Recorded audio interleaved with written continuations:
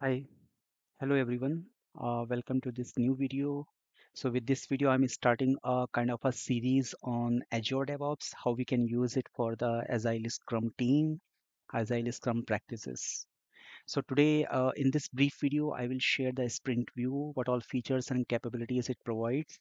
So this is kind of a, a sample project in Azure DevOps that I have set it up. And uh, let's click on the boards and then we can have this sprints. Okay, so when we click the sprints, we get on the right hand side the sprint view, which have the task board, which we have backlog, we have capacity, analytics, and uh, different other options. So we will try to explore like, you know, how we can use these options, you know, when we are planning our sprint, when we have to do the sprint tracking. So let's just expand the view. So we can simply click on this one. This will give us an expanded view so here you can see that, you know, uh, the very first information that we can get about this particular sprint view is we have one active sprint. So sprint one is the one which is active. It started on Feb 20. It will end on March 3rd. So it was a two weeks of a sprint. We have one more, one more working day to go. And uh, this is the task board. So, I mean, what all tasks we have defined our is in our sprint, those will be listed here. And the reason up to use this one is i mean for some of the members and for some of the teams it could be handy. Let's say this particular task is done they can simply you know drag it and you know make it uh, closed. Otherwise what they have to do is you know they have they will have to click on this one and select the state from here and you know select the closed one right? So other thing could be you know they can simply drag it right? So this drag and drop is much more handy rather and time saving compared to you know we go each individually at each one of the task and then try to mark them as closed. So this is about kind of a brief on the task board. We can see you know what all are active resolved and closed and we can configure these states as well. Configuration i will try to cover sometime later.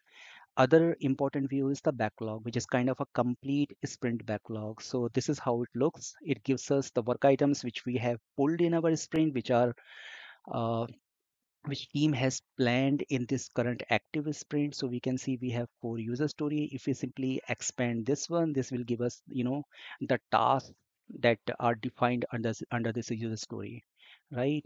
And we can define task under a user story from here. We can define a user story whatever work item we want to define in this sprint backlog we can define from here. Other handy feature is you know if we simply click on the plus so this will also from here we can define a task. So automatically it will come under this particular sto- story.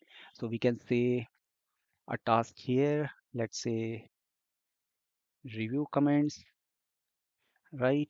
And uh, you can see you know this particular task is getting defined under this story and we can simply say save and close right? So this task gets defined here right? And uh, other important information is the column option. So we can change the display columns here using the column options. So let's say if i click on the column options so these are the currently displayed columns. And if i want like story points to be appear after state i can drag it.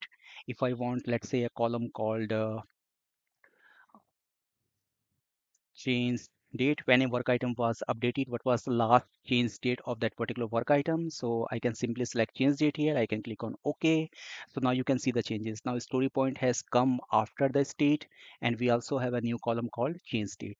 So we can configure how this particular sprint backlog looks the display of it using the column options. Okay.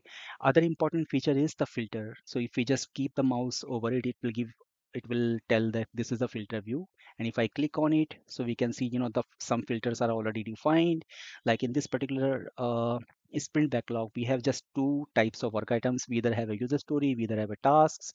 So if I say, you know, let's give me a list of user stories, so I can click on this one. So now we all all we are getting is a list of user story. Simply I can say, you know, give me a list of tasks. So this is the one. And if you want to clear the filters i can click on the clear. Similarly if i want to assign like you know uh, if i want to see you know what this particular member is working on i can click on this member. Now this particular member is working on these two tasks right? So those filters can be applied here. And other handy information about this particular sprint view is this planning, like view options. So if I simply click on this one and click on the planning, so this will tell me, you know, what exactly, what sort of planning this particular team has done, right? So in sprint one, they have four user stories and they have 16 tasks defined and they also have 15 story points of overall effort in the sprint one. So this 15 is the story points. So this gives us a good information about you know when we are planning our sprint. We can you know clearly see you know how many stories we have pulled how many story points of work we have defined those set of information. And uh, other important information is on the capacity so i mean when we are doing the planning for our scrum team we can list our team members here and you know let's say there is a particular member who is going to take one day off so that you know we can define here. Let's say he's going to take off on the 1st of march. So it's a single day leave so that can be set here. If there are any holidays in between the sprint duration that is applicable for all all the team members we can define here. That will be the team days off. And here we can define the capacity on a daily basis you know. Let's say this particular guy anil he's working on six hours per day and uh, similarly for each of the member you know depending upon their workload. And uh, other feature is the analytics one right? So we can see the sprint burn down which is getting generated based on the work based on the sprint backlog right? So here we will be able to see the capacity information as well. Like i mean we can we can just click on show remaining capacity at the start of the day. Like this is kind of a sample sprint. I mean i didn't define the work items on the day when i started the sprint.